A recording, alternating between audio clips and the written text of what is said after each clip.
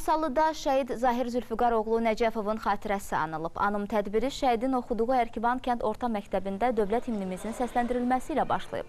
Şəhidin adını daşıyan məktəbin müəllim və şagird kollektivi bir vaxtlar şəhidə dərs demiş müəllimlər, kənd sakinləri Zahid Nəcəfovun simasında bütün şəhidlərin ruhunu bir dəqiqəlik sükutla yad etdilər.